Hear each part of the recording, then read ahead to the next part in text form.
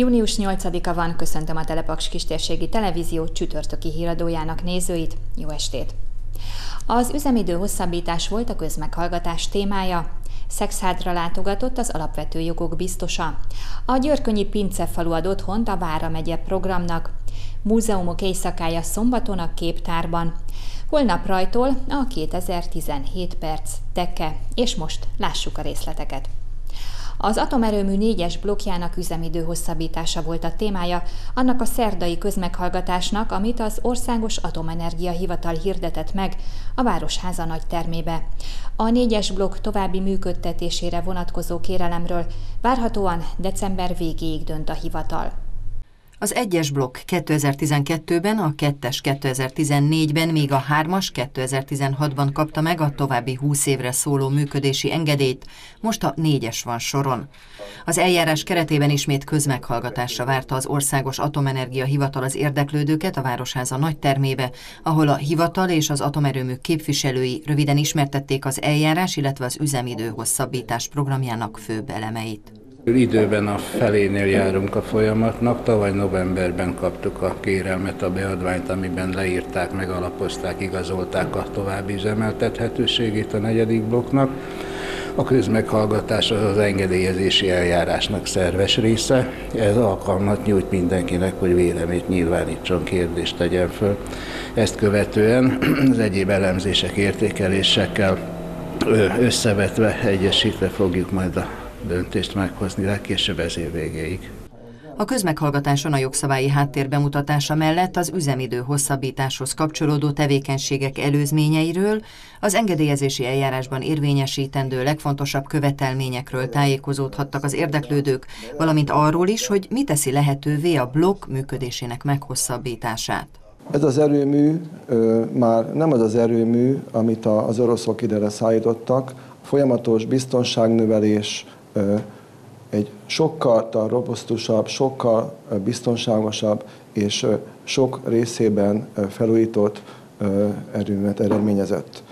A tájékoztatókat követően lehetőség volt az érdeklődők véleményének ismertetésére, kérdések feltevésére, a lehetőséggel nem éltek a megjelentek. A közmeghallgatásról írásos jegyzőkönyv készült, melyet hirdetmény útján tesznek közzé, többek között az Országos Atomenergia Hivatal honlapján és a Paksi Városháza földszinti hirdetőtábláján. Az eljárás lezárásáról szóló határozatot ugyancsak hirdetmény útján teszi majd közzé a hivatal.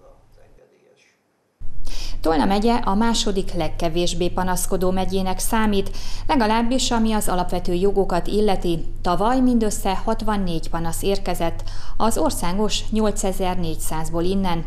Ezt Székely László, az illetékes ombudsman mondta szexárdi sajtótájékoztatóján. Az alapvető jogok biztosa ugyanakkor hozzátette, hogy mostani 24 órás látogatása alatt 8 észrevétellel keresték meg, ami kiugróan magas szám az éves adathoz képest. Vagyis még mindig nem vagyunk tisztában azzal, hogy milyen ügyekben is fordulhatunk az alapvető jogok biztosához.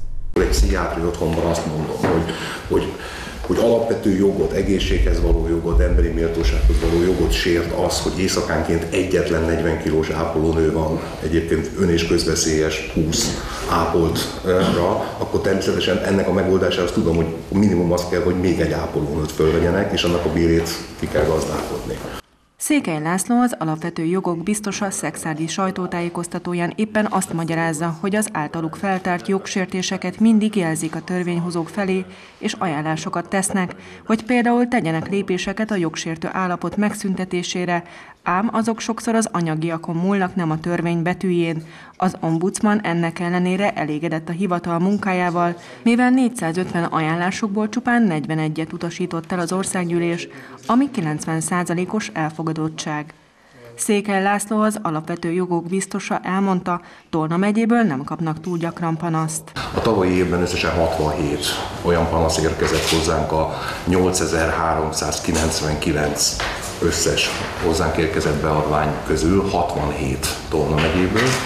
Ezzel nagyjából a második helyen áll a megye a legkevésbé panaszkodók megyék sorrendjében. Az alapvető jogok biztosa próbaszerűen meglátogatta a Tolna megyei Büntetés Végrehajtási Intézetet és a Tolna megyei Integrált Szociális Intézmény központi intézményét, más néven a Hétszínvirág otthont is. Semmilyen kirívó jogellenes állapotot nem, sőt kimagasló munkát végzett a büntetés végrehajtás itteni parancsnoksága, a foglalkoztatás terén egy nagyon jól sikerült együttműködési megállapodást egy, kötöttek egy német műszeripari céggel, és ez legalább 15 fogvatartottnak a folyamatos munkáltatását jelenti. Horváth Kálmán kormány megbízott büszke arra, hogy Tolna megyében nem tártak fel jogsértéseket, és a börtönben, valamint a Hétszínvirág otthonban példaértékű munka folyik.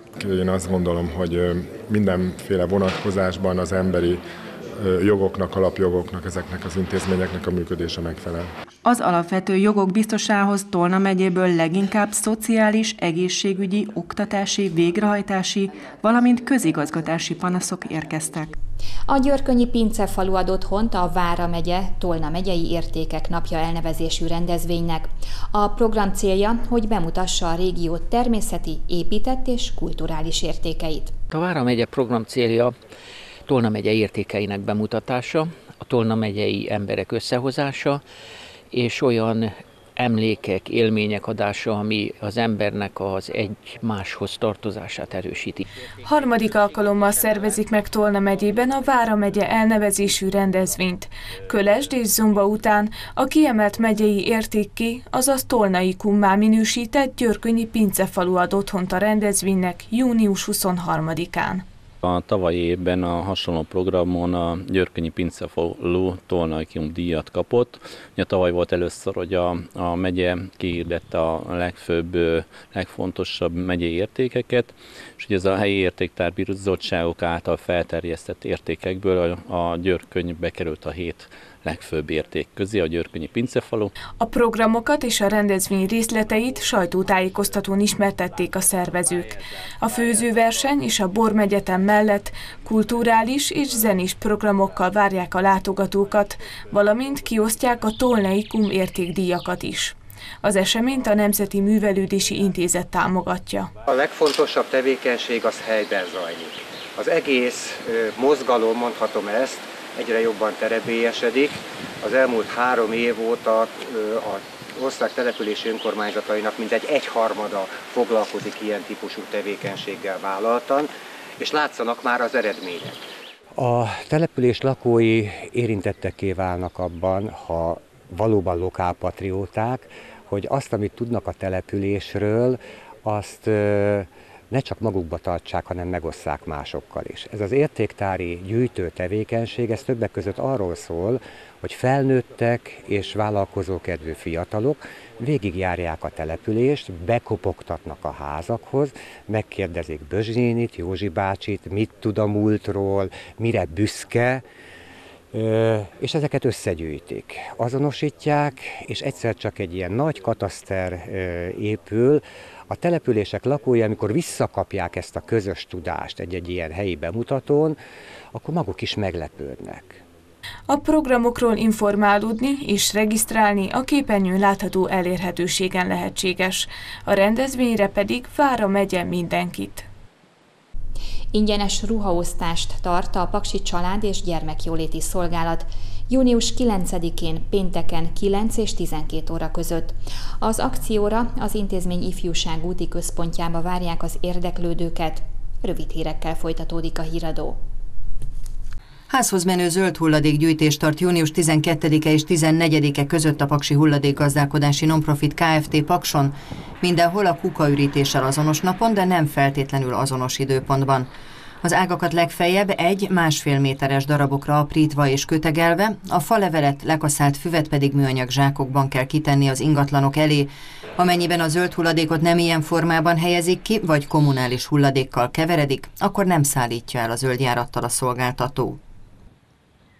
Évzáró gálára várja a közönséget a Paksi Twirling és Botforgató Kulturális Sportegyesület június 10-én.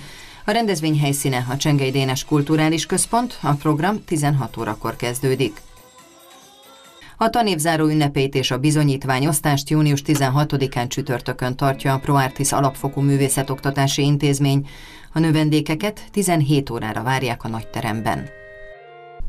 Barangolása a képzőművészeti raktárban, kreatív alkotóműhely és mesekoncert. Többek között ezekkel a programokkal várják idén az érdeklődőket a képtárba, a Múzeumok Éjszakája országos rendezvénysorozat keretében.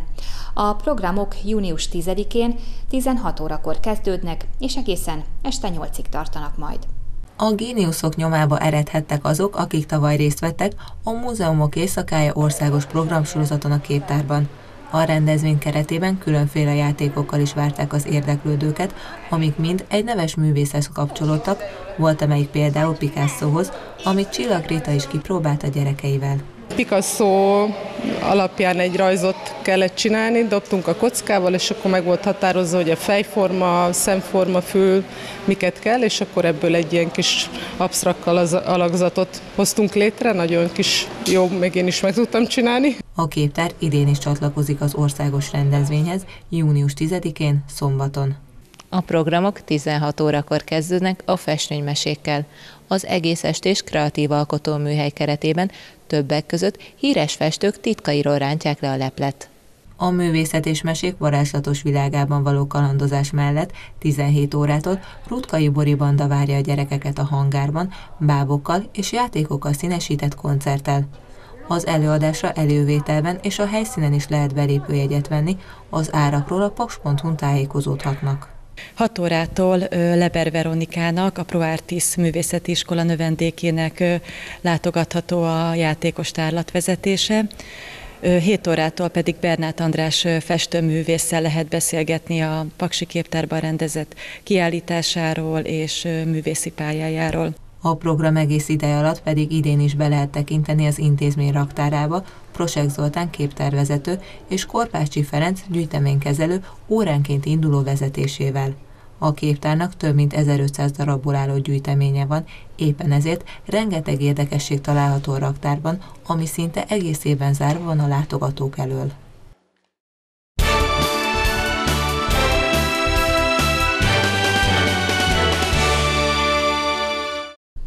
2017 perc teke elnevezéssel szervez programot az atomerőmű eset teke szakcsoportja az ASE csarnok mögött található teke klubba. Az esemény tavaly nagy sikerrel zajlott. Idén, június 9-én, azaz holnap reggel 8 órakor kezdődik. Jelentkezni a teke.ase.hu honlapon lehet. Még sose, sose tekéztem, mondták, lehet gurítani, és jelentkeztünk. A paksi iskolák közül tavaly elsőként a Vagbottyán gimnázium 9. B osztálya élt a lehetőséggel, a diákok hatalmas lelkesedéssel gurították a golyókat a tekézőben.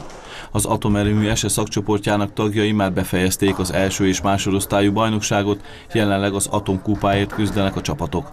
A 2017 perc teke célja ismét a sportág népszerűsítése. Verseny is, meg buli is. verseny, mert a Ugye van egy mottónk ebben az évben, hogy, döntsünk pályacsúcsot, tehát vad év, ezt most szerintem hatalmas versenyek lesznek, mindenki rá akar menni, hogy pályacsúcsot döntsön. Úgy jön ki felkészülve, több időt száll rá, van, aki egy-két órát itt akar tölteni, tehát elég sokszor fog bulítani. És hát egy buli, mert hát itt a legtöbb ember az nem csak jön, megy, hanem akkor kicsit itt tartózkodik, beszélgetünk.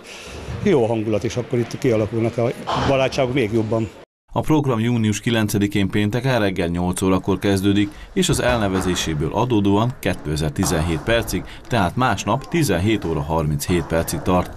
Jelentkezni a teke.ase.hu honlapon vagy személyesen Fenes Lászlónál, Stanóné Köröztös Léviánál és Berkes Ferencnél lehet, valamint az alábbi elérhetőségeken. Péntek délelőtt az általános iskolásokat várjuk, ők már jelentkeztek is, be is telt az összes tanórát lefedő időpont, reggel 8-tól délután 2-ig folyamatosan általános iskolák versenyeznek, őnekik majd próbálunk valamiféle díjazást is kitalálni. Mindenki 10 teligurítást fog teljesíteni, és majd meglátjuk a létszámtól függően, hogy hogyan díjazzuk őket, de mindenki egyformán fog mérlegre kerülni az általános iskolások közül.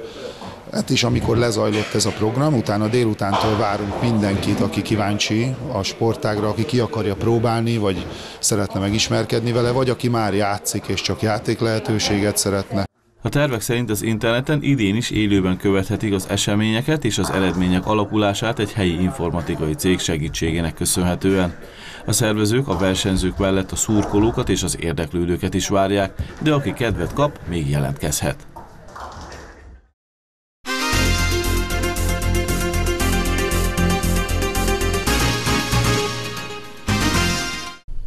Ma van Medárd napja, de az eső sajnos elkerült bennünket, pedig elkelne a kertekben. A 40 napos szárazság, amit a mai nap eljövendől, még elkerülhető, ugyanis a néphit szerint, ha e napon megfürdetünk egy kakast, nyomban megnyílik az ég, és ömleni kezd a zápor, tehát van még remény, de lássuk a folytatást. Továbbra is hűvös marad az éjszaka, 7-13 fok között alakul a hőmérséklet, pénteken napközben 27 fok várható. Napos lesz az idő, a délkeleti szél helyenként megélénkül. A közelgő Gastro Blues Fesztivállal foglalkozik kulturális magazinunk a Paletta. Ezt láthatják most. Én további szép estét kívánok!